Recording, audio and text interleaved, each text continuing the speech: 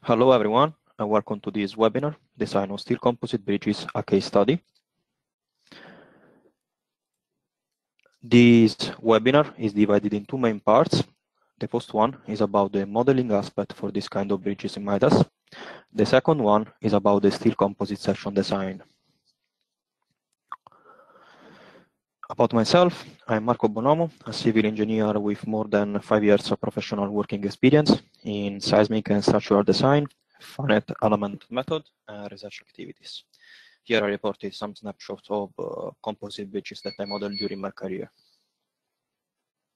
About Atkins, uh, the bridge department has more than 700 bridge engineers uh, worldwide. Atkins design more steel concrete composite bridges than any other UK consultant. Atkins is active on FIB and ECCS commissions. Atkins has written numerous design and client standards and has also written internal guidance for its engineer training and professional development. Uh, about the bridge, the bridge has two, two spans, 22 meter each. The deck width is 17.5 meters. There are six steel, six steel composite plate girders pot bearings at pier location and integral connection at abutments uh, created after the cast of the deck. Uh, the abutment is composed by six reinforced concrete columns in sleeves, so no soil structural interaction has been considered during the analysis. Steel composite girder bridge uh, wizard helps in modeling the structure and we can save the wizard file and use it as a template for other projects. The Layout tab provides span information, steel girder type, bridge width, modeling type. We can decide to model everything as frame or everything as shell or just the slab shell. And we can provide also support condition, only bearing type, or we can decide to model also the substructures. The section tab provides uh, deck thickness, number of girders, and girder offsets, girder section assignments, diaphragm type, and layout. Uh, load tab provides uh, uh, construction and post-construction uh, uh, stage loads, uh, that is the moving loads. we can distinguish between dead loads acting before the composite and after the composite behavior. The construction stage tab provides deck pouring sequences, long-term boundary group, and deck reinforcement. In the end, this is the results of the bridge uh, wizard. And as we can see, all the stages and groups have been automatically defined by the software. In any case, if we want to perform a construction stage analysis, uh, the group definition is mandatory. Whatever we define with the wizard can be modified into the model.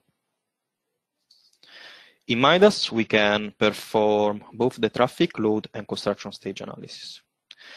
Uh, the main advantages in using Midas are the presence of a lot of vehicles according to several codes, and there is no need to define uh, the location for which compute the influence line before running the analysis, and uh, long and short-term effects are automatically managed by the software during the construction stage analysis. To perform a moving load analysis, we need to define uh, the moving load code, the traffic lanes, the vehicular loads, the moving load cases, and eventually the setup for moving load analysis. For a UK uh, bridge design, uh, we can select Eurocode and modify the adjustment factors and select the special vehicles according to the national annex. For a UK bridge assessment, we can select the BS code and define all the vehicles needed, such as HA, HB, and so on.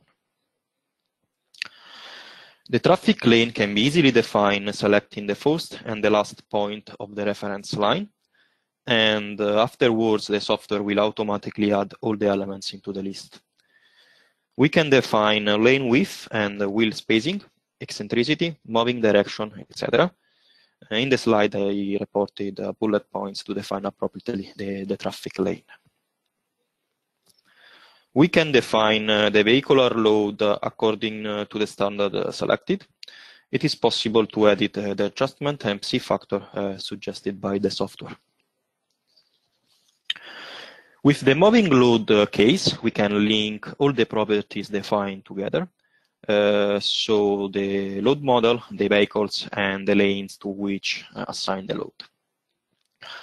We can afterward do use uh, these moving loads in our combinations. With this dialog box, we can set up the calculation accuracy by increasing the number of uh, influence uh, generating points, and uh, we can select the normal plus concurrent force option.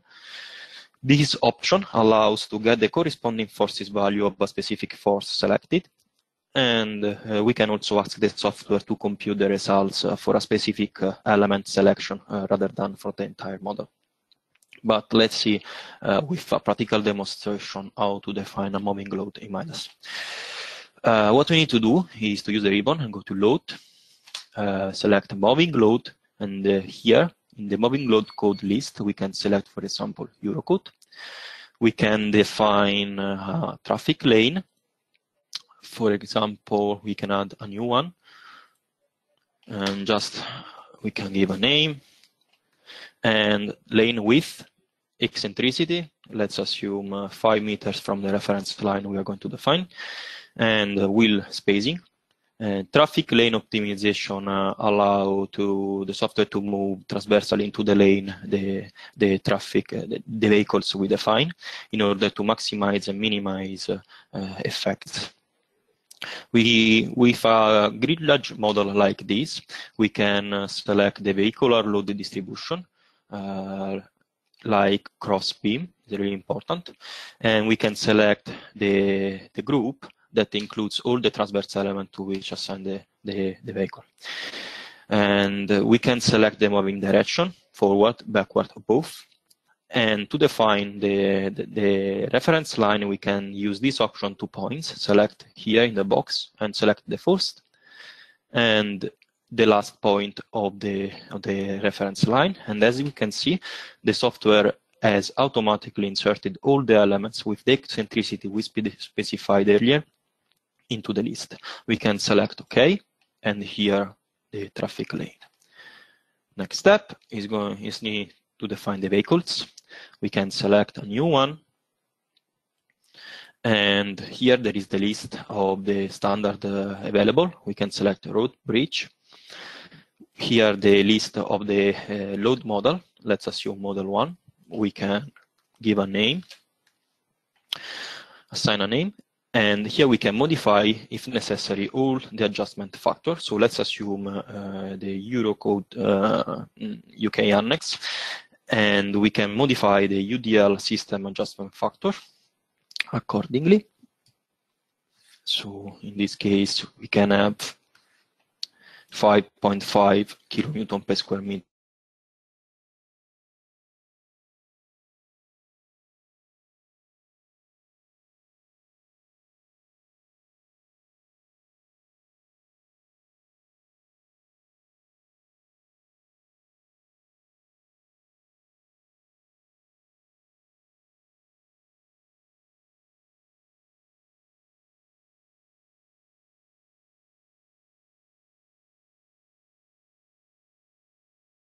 or, not the C factor. Uh, let's assume that we are going to use this moving load case uh, into a combination where the the traffic load is the accidental main action, so we can ignore the C factor. We can select the vehicle, the one we just defined, and if we need the pedestrian load, we can select this option. We can use uh, the lane to which assign the vehicles the lane to which assign the, the pedestrian load here. And we can use a, a remaining area if, if needed.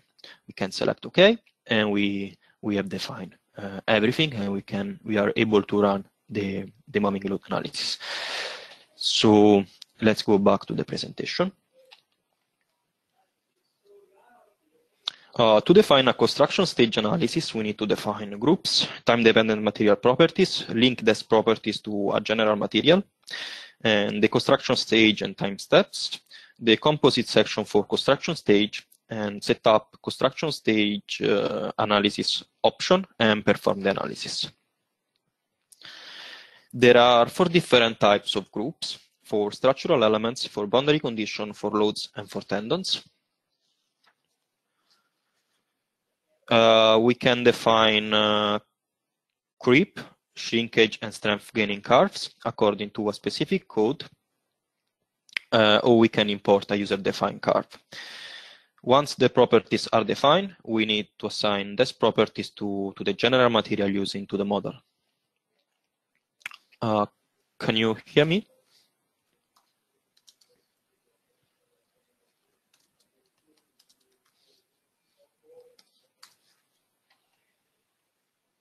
Okay, now you can hear me.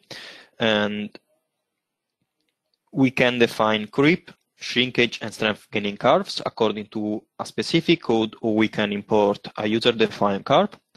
Once the properties are defined, we can uh, assign these properties to the general material used into the model.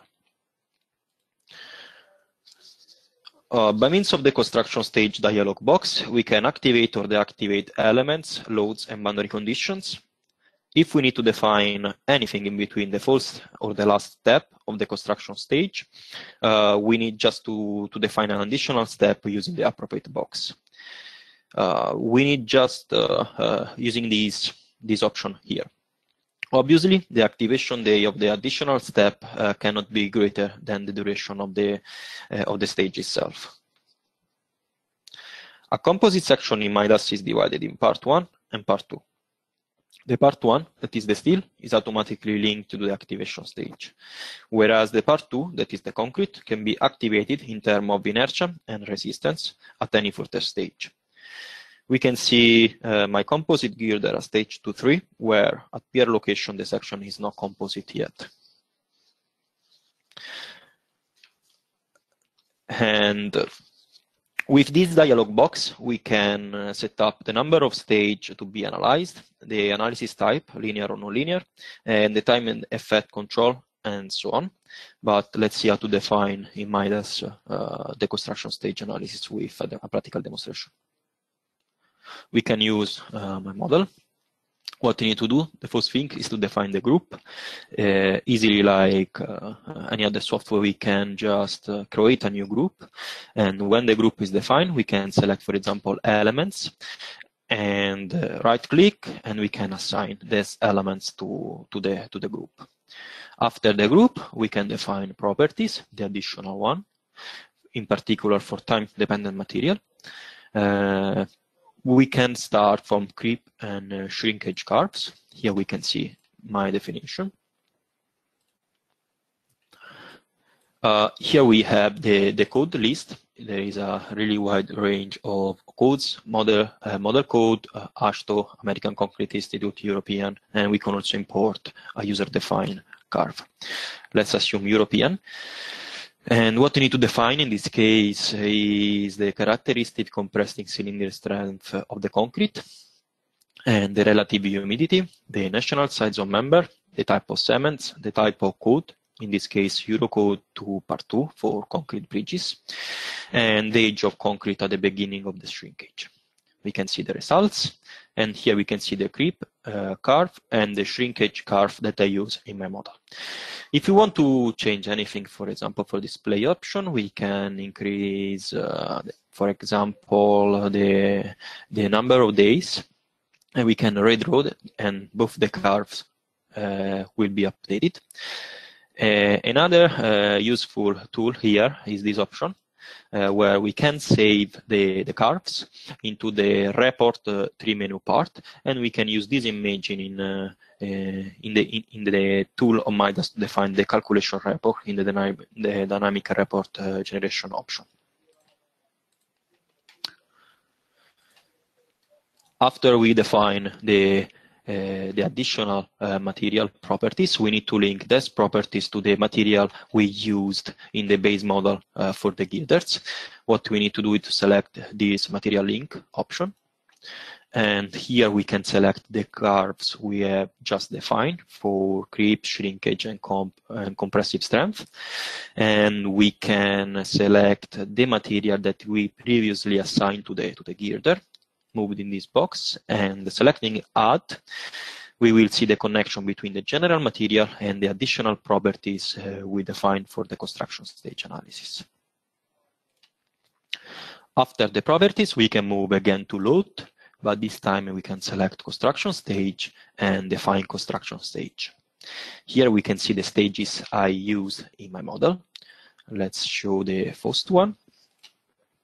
Here there is the dialog box for construction stage definition. We need to define the name, the duration of the stage, and here we can see three different tabs, element, boundary, and load. With these tabs, we can activate or activate all the groups present in our model.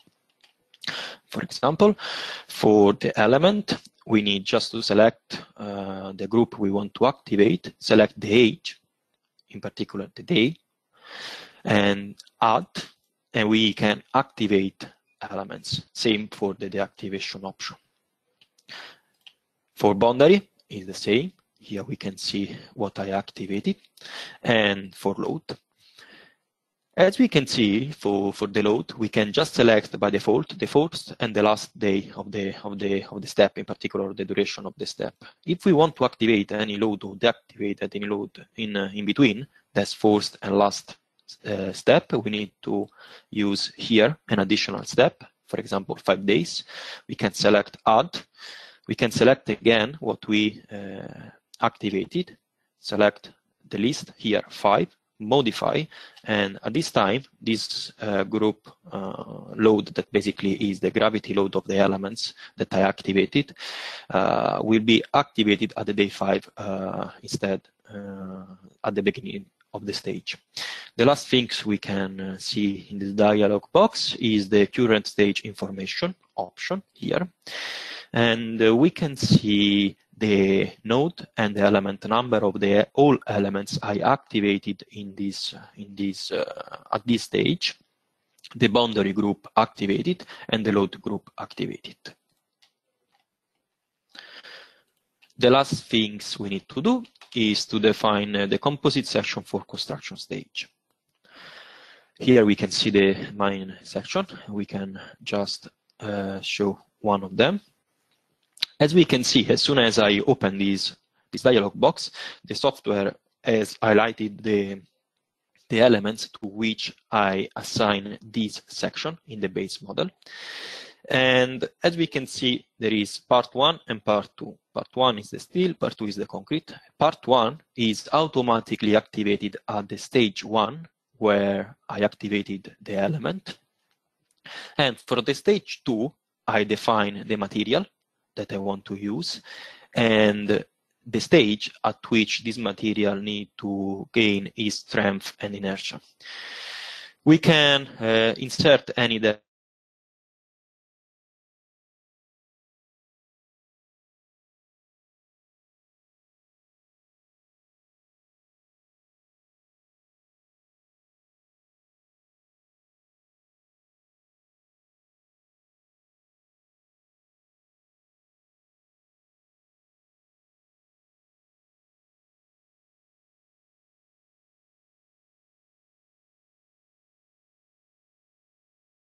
again after activation, but now you should you should hear me again.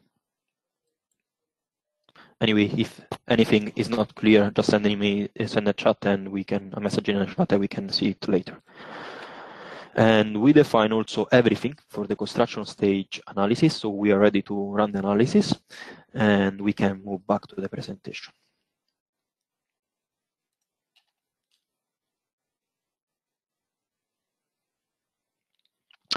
Uh, let's see uh, the results for the moving and uh, construction stage analysis uh, uh, results, starting from the moving load uh, case. There are different ways to look at the moving load results. Here, for instance, I reported the influence line for, for the pier supports reaction and its corresponding moving load position. And I've also reported the moving load position that maximizes the left abutment central support. It is uh, also possible to display the envelope diagram of forces for a specific uh, moving load case, or we can see table results using the concurrent force option selecting the leading component. For example, in this part of the slide, we can see that for this element under this moving load case, the load mode uh, one, uh, I'd selected as leading company, component the, the moment y, the vertical bending moment. And so on this row, the the bending moment is the maximum one, is the maximum one, and the the, the position of the load for the other uh, forces is the same for the uh, for the calculation of the maximum bending moment. So we can use directly these forces in our combination uh, without take the risk to over design anything. Uh, construction stage analysis uh, results can be displayed for the single effect like dead load or shrinkage. And Midas automatically creates uh, the summation combination which includes the appropriate single effect for reaction, deformation, and forces. I calculated manually the summation combination and it can be uh, noticed the exact uh, results match with uh, Midas values. Here we can see the evolution of the bending moment during the construction phases of the bridge. And this, as we can see uh, at construction stage two, the, the bridge is not uh, integral yet. Here we can see that the integral connection uh, has been activated. And uh, this is the last stage for long-term effects.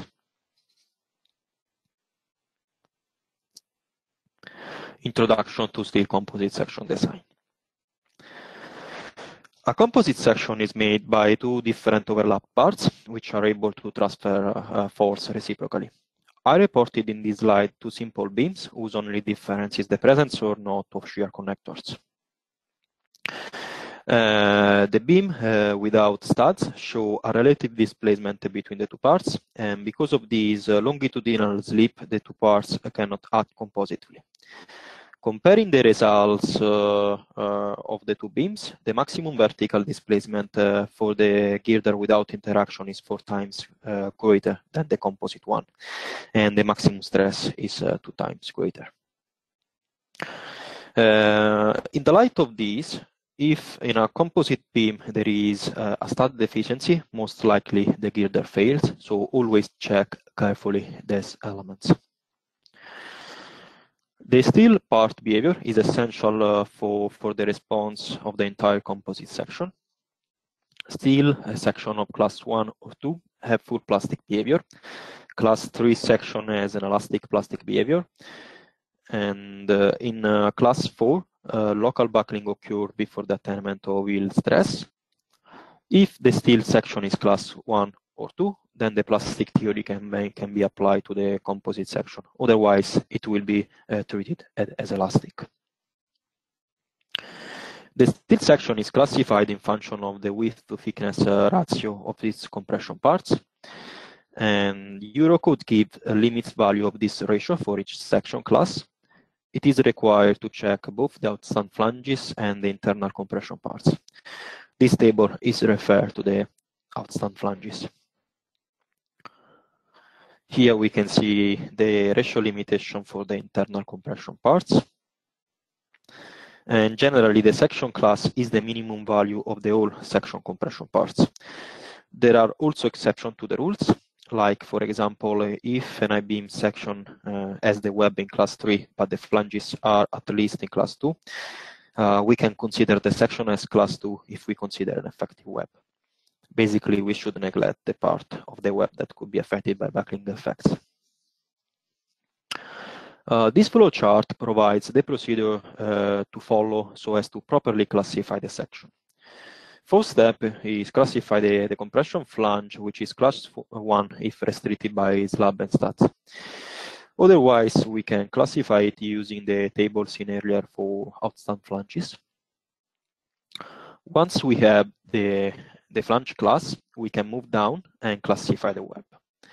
Starting from flanges class 1 or 2, we can use the plastic stress distribution for to classify the web. And starting from uh, flanges class 3 or 4, we can use the elastic stress distribution to classify the web. Once we have the, the web class, we can classify the section and if we want we can also consider exception to the rules like the one seen earlier and reported in this part of the of the flowchart. Uh, uh, ULS verification to Eurocodes. uh, it is required to check the composite cross-section for bending moment, shear force, and interaction between uh, bending moment and vertical shear force. It is also required to check the slab and the stud resistance. It is required to perform fatigue checks, in particular for studs. And lateral torsional buckling should be checked too. I reported uh, this imaging uh, with all the standard recalled by the Eurocode 4.2 and we can see Eurocode 0 for combination, Eurocode 1 for actions, Eurocode 2 uh, part 2 for the concrete uh, uh, part of the composite section, and Eurocode 3 part 2 for the steel part of the composite section. For classes 1 and 2, for which it is possible to use uh, plastic analysis, uh, the temporal load distribution is not important to determine, to determine the bending uh, section capacity.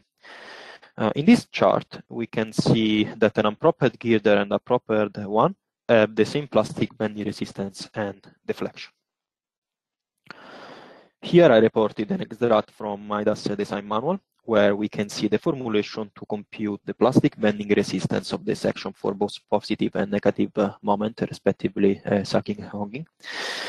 And with the axial equilibrium of the internal forces, we can determine the plastic neutral axis and afterwards we can uh, calculate the plastic bending resistance as the moment uh, uh, of the axial forces into the section. For class 3 section, we cannot perform a plastic calculation, so that the temporal load distribution is important to determine the section capacity. Looking at the same chart seen earlier, it is worth noticing that the propped and unpropped girders have different bending capacity and corresponding vertical displacement if the plastic capacity cannot be achieved. Eurocode 4.2 allows us to compute the elastic uh, bending resistance as the summation between the design bending moment in the pre-composite section and uh, the design bending moment acting in the composite section. This latter value is multiplied by a factor called K, this coefficient measures the residual resistance of the composite section until failure. If the steel factor is greater than the concrete one, then we have a concrete edge failure, otherwise a steel edge failure. For section class 4, uh, local buckling occurs before the attainment of yield stress in one or more parts of the cross section. There are two methods to analyze this kind of section. The effective cross section method and the stress reduction method. The first one consider uh, an equivalent effective section where all the parts of the original gross section affected by uh, buckling effects are removed, and this equivalent section is, is checked as class 3. The second method considers uh, reduced stress limitation into the element sections uh, due to buckling effects, and no holes are considered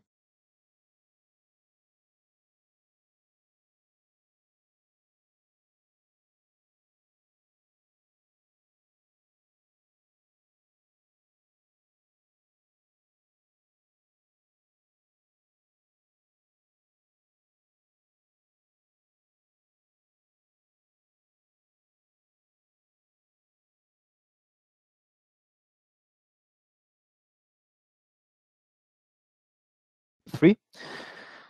And the bending capacity determined uh, at this level is fully equivalent to the one obtained from the effective cross-section method.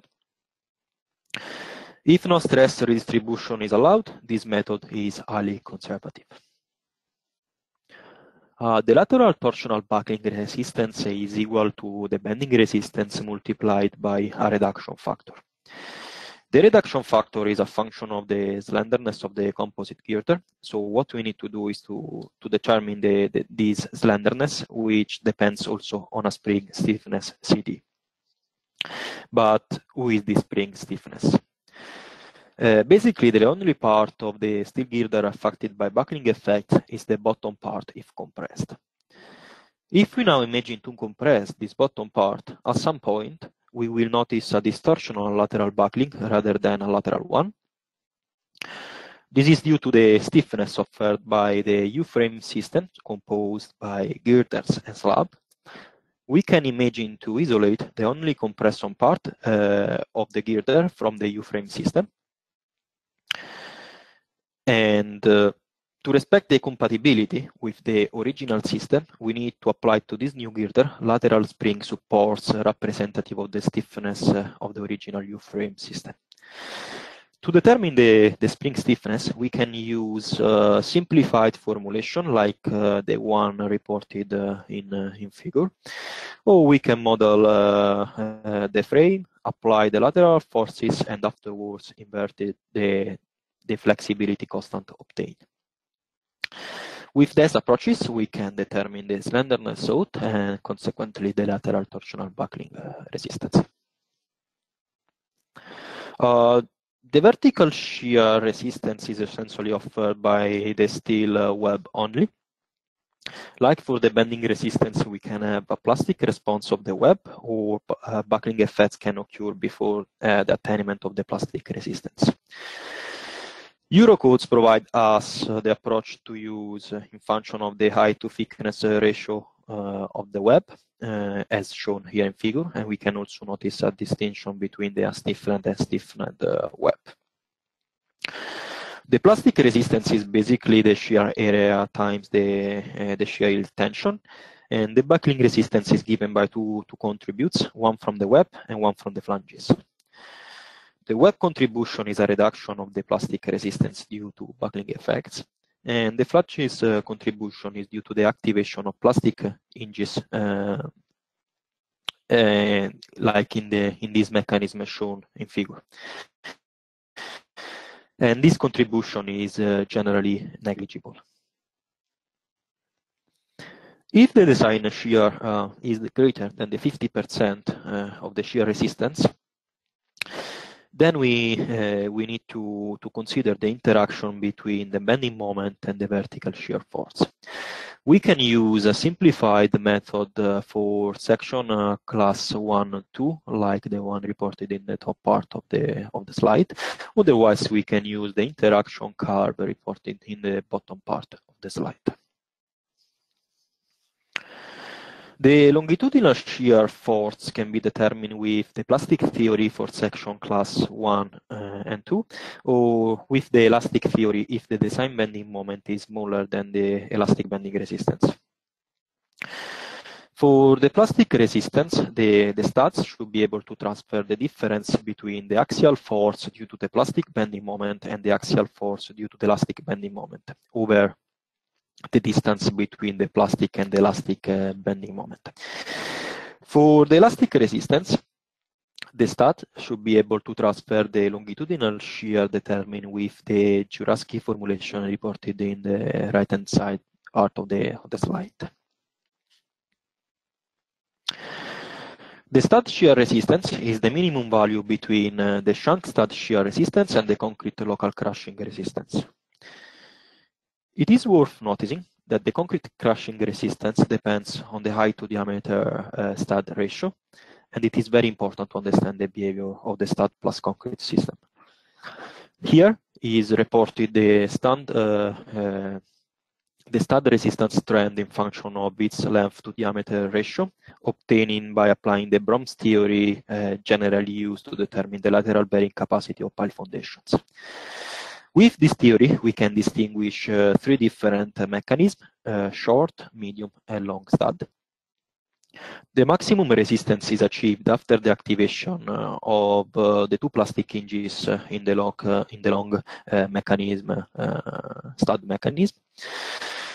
And this mechanism is linked to a height to diameter ratio greater than 4. And in case the shear studs are placed with a constant pitch, these, uh, this last, uh, last mechanism is uh, recommended in order to mobilize the maximum resistance of the whole studs placed uh, over the plastic uh, length of the girder. In fact, in this case, we need to provide uh, ductile behavior for the studs. Uh, so as to allow the slab to bear the forces transferred by the studs, we should place uh, a minimum amount of transverse reinforcement sides with uh, the trusted uh, analog uh, mechanism shown in, in figure. Uh, we should also check that the concrete strut doesn't crash under the stud forces as reported in this part of the, of the slide. Shear studs to, should be checked for fatigue. And the design fatigue stress range is calculated multiplying uh, the stress range caused by fatigue loads uh, by damage equivalent factors. The, the resistance uh, stress range is given by the code and at 2 million cycles uh, is 80 megapascal. If the equivalent stress range is smaller than the corresponding stud resistance, uh, then the stud is checked for fatigue. Um, in case the top flange is in tension, we should consider the interaction between shear and axial stress range. But in this case, the the shear stress uh, range resistance is 90 megapascal instead 80 megapascal as we saw earlier. Uh, steel composite section design. To perform checks in Midas, we have to define a load combination, define a design code, and define all the parameters and the properties of the sections. We can easily define a combination using the general dialog box and afterwards copy the combination for which we want to check the section uh, into the composite steel uh, girder design uh, dialog box using the appropriate option here in the dialog box. Uh, all the parameters are defined automatically by the software as soon as we select uh, the code we want to use, uh, but they can be edited by the user if necessary. The data input required are the longitudinal uh, reinforcement, the longitudinal stiffeners, the design position, the position for design output, the shear connectors, the transverse stiffness, the types of load applications, the lateral torsional buckling properties, and the damage equivalent factors. But let's see a practical demonstration to define uh, the, the longitudinal the reinforcement in Midas. we need just to move in this part of the ribbon, select design. Uh, we can define the, the code we want to use. So Let's assume Eurocode for part two. And from the composite design list, we need to define just the longitudinal reinforcement option. Here we can see all the section I define in my model. We can select the first one and we can see the reinforcement I use uh, in the checks. We can delete and redefine it again. There are different ways to, to define the reinforcement. My favorite one is to use the guideline. Basically, this line should pass for the center of the reinforcement we want to place. So in this case, is the is the cover of the of the concrete. So let's assume five centimeters. Here we can see the the guideline. There are different methods. We can use the input method B. Uh, we need to the to to select, uh, to define the center to center distance of the rebar. And if we want or not to consider the edge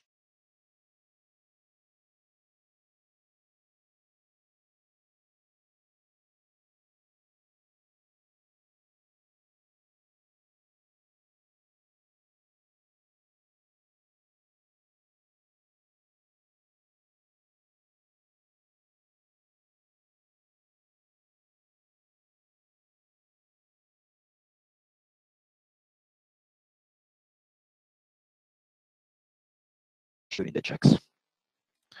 Let's go back to the presentation.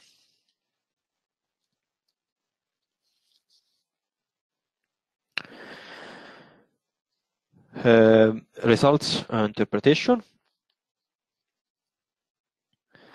Here uh, it is shown the mechanical properties of the section uh, before and after the composite behavior. On the left-hand side, there are the values in millimeter extracted from Midas report, and on the other side, the values calculated with my personal spreadsheet and express emitter. As we can see, there is a good match between uh, corresponding values. And for example, for for the uh, before, uh, for the steel girder only, we can uh, see the perfect match between the values and we can understand also that is just a steel uh, from the modular ratio I use in my spreadsheet. Same for the after composite uh, behavior, so girder plus slab for short uh, short term effect as we can see from the modular ratio that I used uh, in, into my spreadsheet, there is a perfect match of the value. Uh, here we can see a good match between the plastic capacity for positive sagging and negative hogging bending moment. We can notice the exact match between the plastic neutral axis position and the capacity of the section. Uh, also, there is a good match uh, for, for plastic shear resistance. Uh, here we can see a comparison between uh, the longitudinal shear resistance for studs and it is also worth noticing the, that the maximum usage factor uh, for fatigue can be more onerous than the ULS one. So always check the stats for fatigue. Uh, the forces with which uh, check the slab in transversal direction derive from two different models. A local model which considers uh, a continuous multi-span girder, the slab, on perfect vertical support, the, the girders and a global model which takes into consideration the vertical girder drift, uh, in other words, the settlement we should apply in the local model. As we can see here, this is the deformation shape of my deck under uh, this concentrated force uh, on the edge girder. And this force doesn't produce any effect on the opposite edge girder. Uh, because of the absence of uh, a continuous relatively rigid bracing system. And uh, because of this, uh, this force produce a deflection of, uh, of the slab in transversal direction between the desk two girders and uh, the the part of the slab involved in this mechanism, in this deformed shape, will carry on more uh, shear and bending uh, bending moment uh, because the slab try to pass these this force in uh, into the other girders. Uh, once we we got the global and local forces on the slab, we can use the Eurocode formulation to combine to combine a local and global effect. Eurocode for two uh, part 2 uh, readded to Eurocode 3 part 2 the annex E that is the annex for uh, the orthotropic steel deck and this annex provide us the coefficient to use for for the combination of the of the effects as we can see, for shorter uh, span length, like the bridge I had, uh, this coefficient is almost 1. So we should consider the 100% of the local forces and global forces at the same time. If we now uh, take a look uh, at the, for example, at the envelope of the shear forces for local effect and global effect, we can notice that the local effect, the shear for local effect is almost uh, 160 kilonewton. And if we think about the capacity of a slab of a slab of a deck, of a deck of a, uh, of a bridge that generally is about uh, uh, 200 kilonewton when the slab is 250 millimeters uh, de depth and uh, uh, there is a, a standard transversal reinforcement. We can see that already if we if we assign the the shear force due to the to the envelope of the global effect to the local one, we we could achieve the resistance of the of the slab. So in case of uh, an absence of continuous uh, bracing system system that we can consider uh, rigid, relatively rigid, always uh, take into account the effect uh, that derives from the global effect and uh, add to the local one. Uh, the dynamic report generator allows us to quickly create the calculation uh, report. What we have to do is to record and register data in our model like images, uh, tables, charts, and so on. We can create uh, a new document or open an existing one for example, with the company format. We need just to drag and drop uh, everything into, into the open document and save and close it. If uh, any data inserted into the report uh, needs to be updated, we can just open the document again and using the dynamic report uh, auto regeneration option, everything will be updated in a few seconds. Conclusion. The main advantages in using uh, composite girders are uh, the reduction of buckling effects in comparison to a full steel girder thanks to the slab presence, the reduction of weight and cracking in comparison to a reinforced concrete uh, girder thanks to the steel girder presence, the reduction of traffic disturbance thanks to the easy and fast construction method, and the reduction of deflection in comparison to other kind of decks. The main aspects to take into special consideration during design are uh, the section behavior that can be full plastic, elastic plastic, or full elastic with local buckling. Uh, the sequence of construction are relevant uh, only for section class 3 and 4. A relatively rigid uh, bracing system is vital to spread forces between girders due to torque and can help us in optimizing the, the amount of steel required for girders. Uh, studs are crucial elements to allow the section to act compositely. So if we want to consider our section as a composite one, uh, we should check really careful these elements. Uh, I finished the presentation and I want to thank you for joining us today. But uh, I know that we responded a problem with the audio. So if you have any questions uh, uh, or doubts or things that you want to see uh, to see again, uh, you can just use the chat, send a message, and I can try to answer uh, answer your question. Otherwise, you can send an email to the Midas support using the both email address reported into the slide.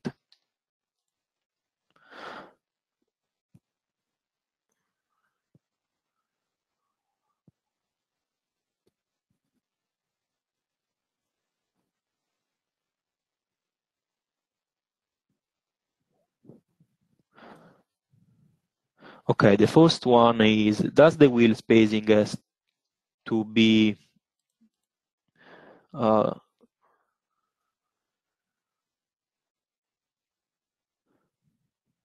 uh, the question one is, does the wheel spacing uh, has to be uh, the same on the vehicle uh, spacing?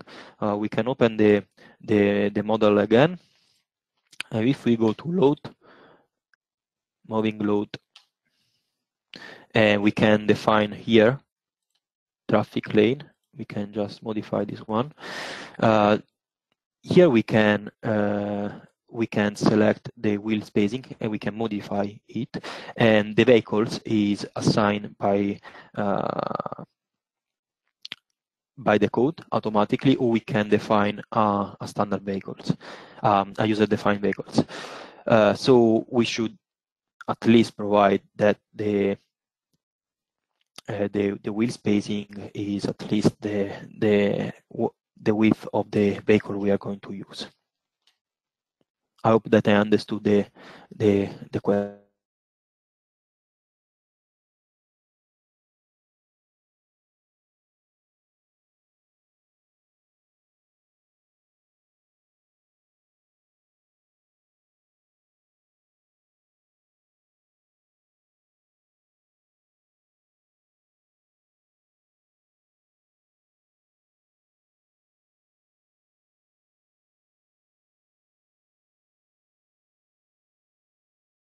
Uh, the interaction, uh, the, there are two different things in this question.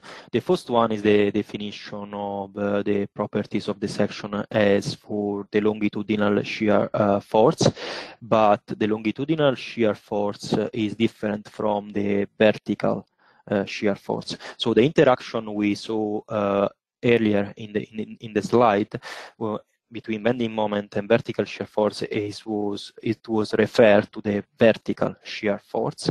And the longitudinal shear force is a separate check and uh, is going to involve the the connected part. So the slab the studs and the girder. So in particular for the girder the the the welded part of the of the of the connection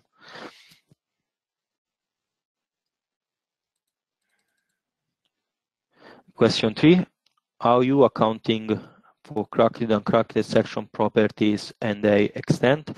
Um, in this model, no, because uh, when I define the this uh, is important the construction stage. Basically, this part of the of the of the deck is poured uh, after the the composite behavior of the other one. So uh, the the dead load effect in terms of hogging moment, bending moment uh, are, are taken by the the steel girder uh, only. So I didn't modify the the the crack part of, of, the concrete and also when we are going to check here the the section they will be for for hogging so no uh, no concrete is considered during the check and also just the uh, the reinforced uh, concrete is the reinforcement of the concrete is considered. I have another question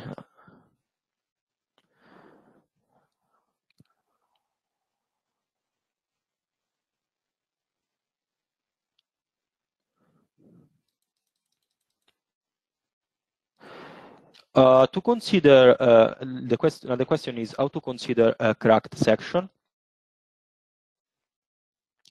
Uh, to consider uh, the cracked section, we can uh, we can just uh, modify, for example, the properties of, of, of the section. For example, if we go to to properties, and here there are section properties, we can modify the factors of of the of the stiffeners, for example, uh, sorry, we can uh, modify uh, any any properties of of the section and and the parameters uh, uh, that we want to to use. For example for for for reducing the the the the inertia of the section. Otherwise we can use uh, we can define a new a new material and with a reduced uh, uh, Young modulus, and we can assign uh, this material to the to the elements where to which we assign the section uh, we want to, to reduce the stiffness.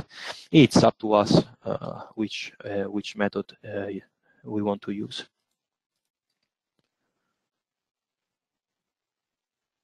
Oh, the question is the next question is about sending the the video copy of the presentation, and I'm sure that uh, Midas we will share both the uh, the broadcast uh, session and the and the slides. So no worry about that.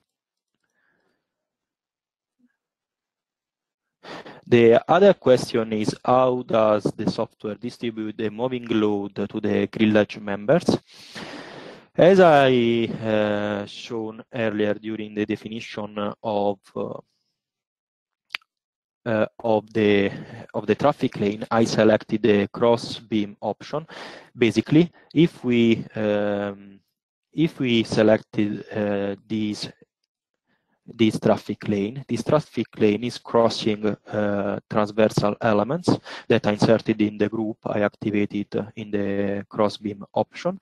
So the software, if apply here in this in the middle between two cross elements of software, we will distribute in function of the relative distance from the crossing element the uh, the load, and it will be applied at the interaction between the center of the traffic lane.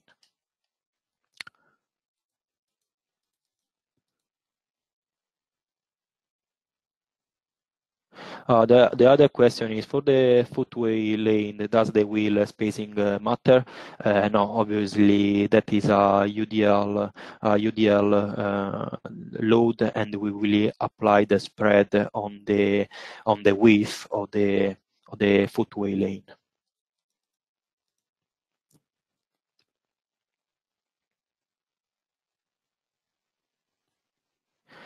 Uh, can be the other question is can be the slab reinforcement easily deassigned and detail? Does it consider uh, torsion effect?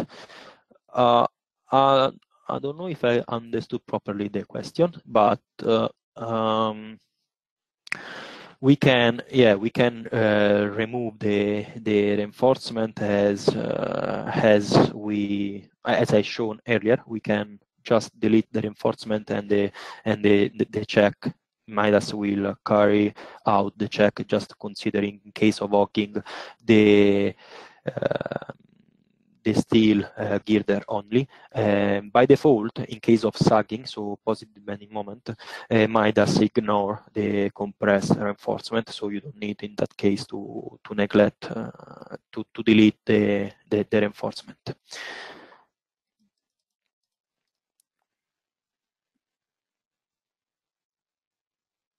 There is another uh, another question. What is uh, what what is more efficient in terms of design, in terms of time, uh, not accuracy, a grillage as uh, per the example, or treating the slab as shell elements and steel as beam elements and uh, shell, uh, shell plus beam.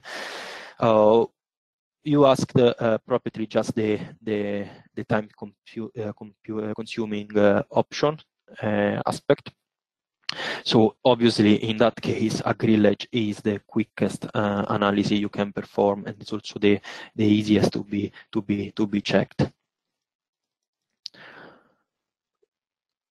Uh, here I have the same question about the crack part.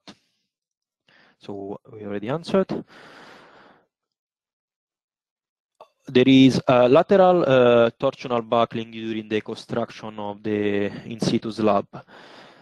Uh, generally, mm, this uh, this uh, check is not uh, carried out uh, um, carried out by the software here in Midas because the the lateral torsional buckling is referred to the composite section.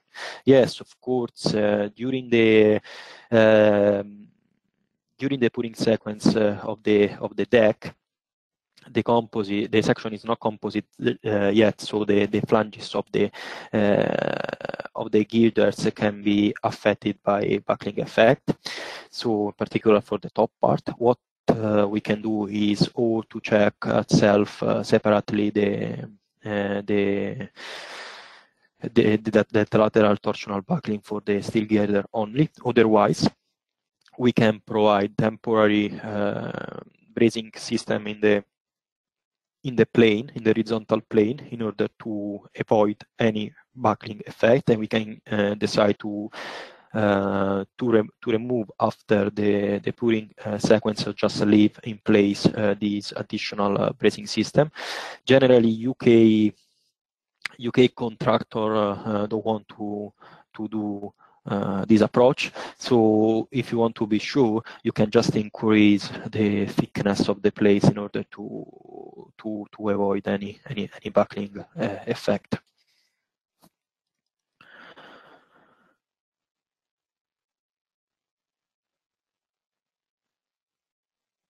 Uh, I have a question is, how Midas is performing the detailed design checks? I mean, failure modes uh, compared to the personal calculation. Uh, honestly, I don't, I didn't understand properly the, the question, but Midas, uh, for example, for the uh, for the in, in the slide for these for these uh, for this bridge where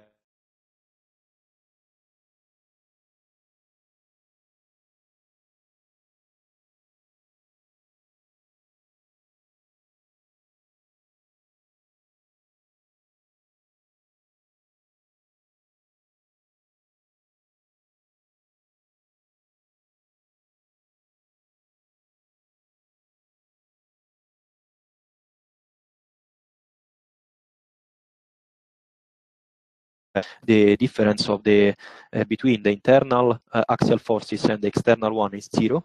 Uh, it might thus compute the bending resistance of the of the section with the uh, the axial the axial force into the into the section.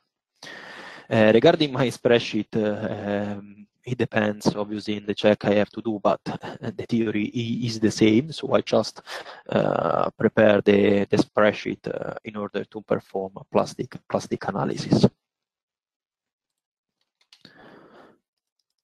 We have another question.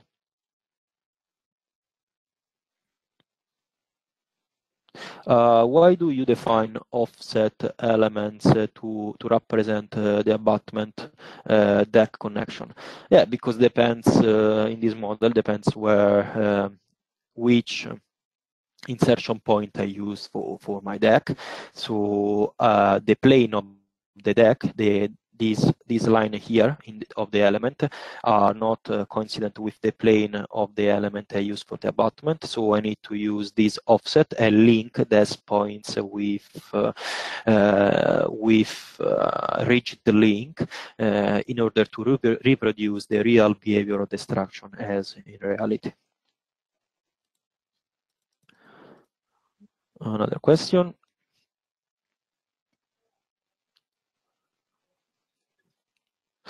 How easy is it to model uh, discrete precast deck slabs and associated shrinkage, cracking, etc. issues?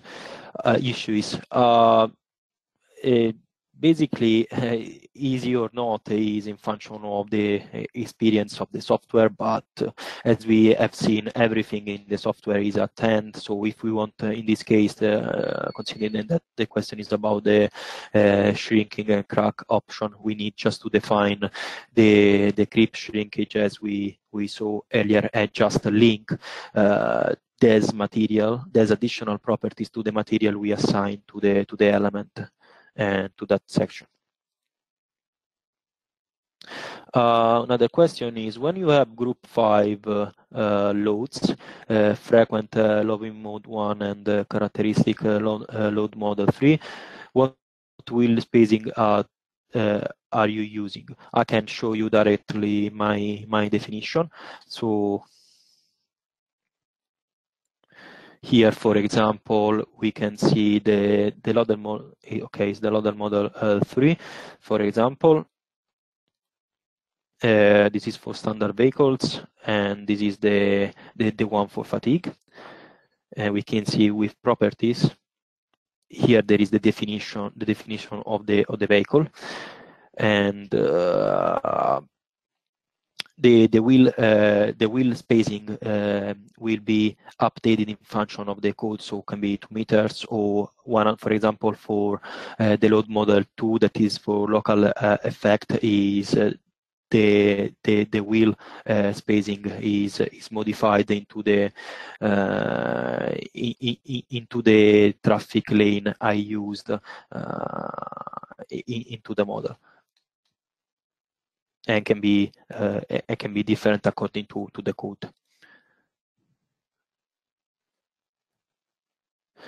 Uh, another question is effective width. Uh, how is this uh, represented within uh, the, the, the grillage? Uh, I think the question is about the effective width of concrete due to shear lag. And what I did is um, I calculated manually the effective width of each girder. As we can see, I define I define different uh, different section uh, for for different uh, girders in function of the uh, the thickness, for example, of the, of the steel plates or the effective width uh, for the out girder of the inner girder of the of the section. So we had to uh, to calculate that manually, for example, and define the section with the the, the, appropriate width we want to consider. Uh, I can see there are that there are a lot of other questions, but um, unfortunately we we finished the uh, the time for for today. So what we what I can suggest to do is to send uh, that question again uh, via email using uh, uh the desk2 email address and uh, the and desk support we will uh, send an email back to you to, to you shortly. I want to uh, to thank you uh, again for joining us today, and I hope that you will join the further uh, expert webinar that will be presented by other other engineers. Uh, I wish you uh, a nice day and see see you soon. Bye.